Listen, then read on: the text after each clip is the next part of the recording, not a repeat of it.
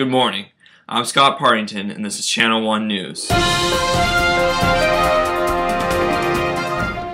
In today's special report, we will be looking into recent advancements in the world of chemistry. Whether you know it or not, chemistry affects your daily life in many ways. Understanding chemistry helps provide a better understanding for the world around us. Scientists are constantly making new discoveries that further these understandings. In today's special report, we, will take a closer look at recent advancements in technologies in the world of chemistry. Stay tuned for reports on more efficient solar cells and the possible addition of a new element to the periodic table.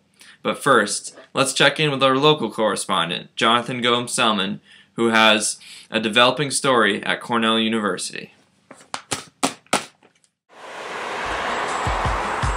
Hello, I'm Jonathan Gomes-Selman. Today we are here at Cornell University in front of the Hall for Applied Physics. This has been the site of a recent new discovery in material science made by Pinshane Huang and Professor David Muller, who discovered a revolutionary piece of glass only one molecule thick. This new discovery has received worldwide publicity and is already featured in the Guinness Book of World Records as the world's thinnest piece of glass made by humans.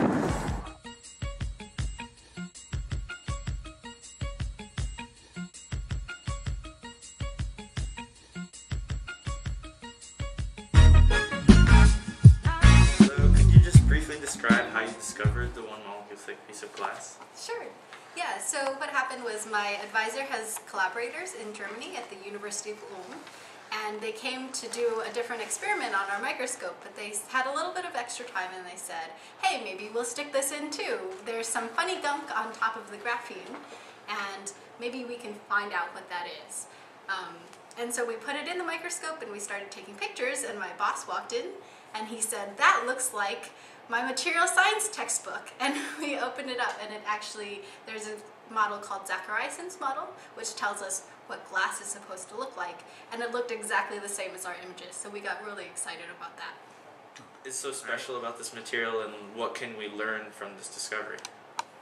Yeah, well, um, I would say the most remarkable thing about it is its thinness, but it's not it's not just good because it's thin. The thinness gives us a lot of extra things. So one thing that happens when we're looking at stuff in the microscope is we're actually taking a picture. We're taking a picture that is just a two-dimensional picture of our material. So if you think about this, um, and you just put it down and projected an image on it, oops, sorry. yeah. um, you would get, you know, like your Polaroid. It's a two-dimensional thing, and luckily this is two-dimensional, so you see everything in it. Normally glass is three-dimensional, so there are atoms here, there are atoms there, and there are atoms kind of all over the place. So when you um, take a picture of it, you don't actually see what's going on. You just see kind of a random jumble everywhere. And so people have been trying for a long time to figure out what the structure of glass was. And it wasn't until we could see this thing that is simpler in two dimensions um, that we could actually go in and see where the atoms are.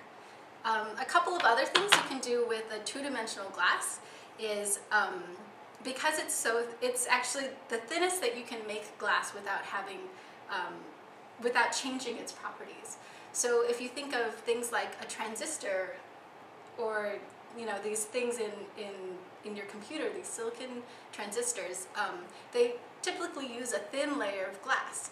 But when you make that kind of glass really thin, um, you start to it has surfaces where it has to bond with other things. Um, so this is the thinnest you can make glass, and um, yet all of its bonds are connected to each other. So it's a perfect glass that's thin. Um, so you can actually uh, think of making super thin transistors that have really high quality instead of the poor quality you would get from just taking a normal glass and thinning it down. So finally it was just could you like describe a little how you got involved in applied physics yourself and how you got the interest initially? Hmm. That's a little bit hard to pin down. Um, so, so in college, I think I was interested in a lot of things, and physics was definitely one of them. Um, I really like other physicists. People often say physicists are awkward or weird or strange. Um, and that is definitely the case for some people, but they're also some of the most interesting people I know. They're just, they're just fun people to work with, and science is very collaborative, so I get to feel like I'm solving interesting problems about the world, and then also working with these really smart and talented people. Um, yeah, so, so that's definitely part of it. There's also a spiel that I give about material science. So um, I study materials. I think they're really interesting um, because everything around us is made out of atoms, and I can actually zoom in and look at those atoms and, and understand why different materials are different. Um, there are things that are also really tangible for the world. So if you think of things like the Stone Age and the Bronze Age, those are eras in history that are actually named after materials because they changed our lives in prehistoric times. And I think today that's, that's still the case, that material science is a really important thing. Um, so for example, your iPhone, um, computers, all of that is the new materials that we're working on today. Okay, thank you very much. Yeah, no problem. It's my pleasure. Channel 1 News would like to thank Pinshane Huang for that exclusive interview. And now, on to the rest of our special report.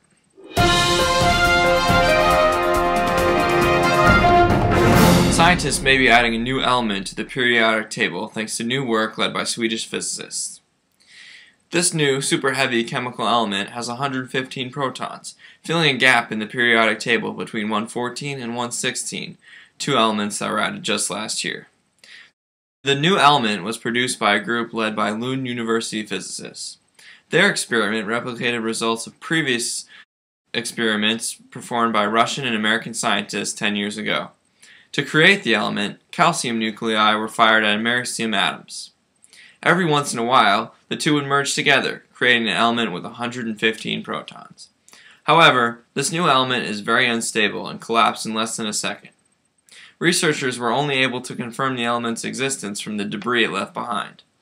If the data proves convincing, this short-lived element will become a permanent lifetime member of the periodic table. Thanks for having me, Scott. My name is Alejandro Cerveto. I'm, and I'm here to report a very exciting advancement in solar cell technology that leaves the future of renewable energy even brighter.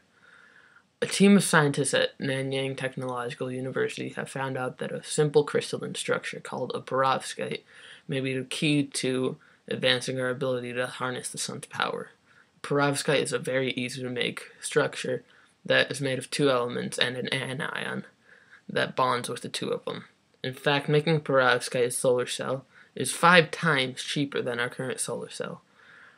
Perovskites currently have a 15% sunlight to energy conversion rate, but we know exactly how to make them and how they work. So scientists are working on enhancement on enhancing their efficiency. In the near future, they hope to reach a 20% rate. Given what they know about the structure, this hope isn't very far-fetched. After all, it's not rocket science. Stay classy, Ithaca, New York. This has been a special report from Alejandro Cerveto. And that wraps up our special report. For Channel 1 News, I'm Scott Partington, signing out.